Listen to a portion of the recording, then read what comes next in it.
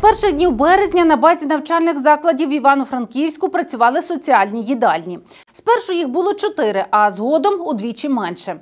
Тут щодня можна було придбати обід за доступною ціною. Харчувались як внутрішньо переміщені особи, так і мешканці Івано-Франківська. Зараз ліцеї готують до нового навчального року, тож роботу їдалень призупинили. Де харчуватимуть переселенців, все розкаже Оксана Гуменяк.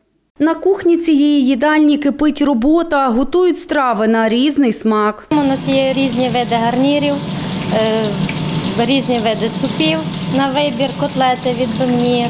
е, Робимо запіканки з картоплі, е, солодко, сирники, налисники з м'ясом, сиром, з яблучком, компотик. Придбати смачний обід за пільговими цінами. Саме з такою метою у кількох ліцеях Франківська організували роботу соціальних їдалень.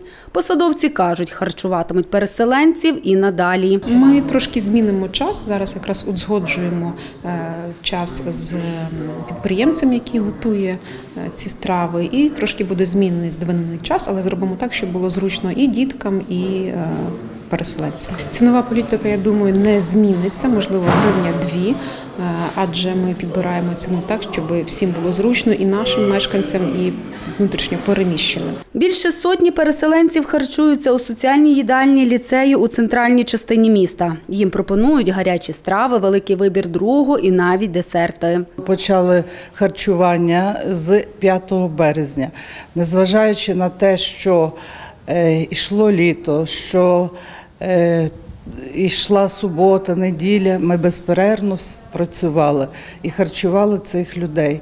Люди дуже були вимушені, замучені.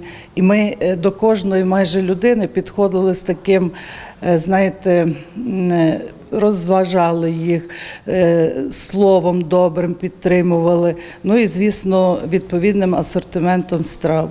Люди дуже були задоволені, що їх так тут прийняли. Вони навіть не сподівалися, що такі низькі ціни і що вони можуть вільно прийти і пообідати. Паралельно із переселенцями у їдальнях ліцеїв харчуватимуть і учнів. Меню для дітей затверджено профільним департаментом. Страви готуватимуть за рецептами Клопотенка.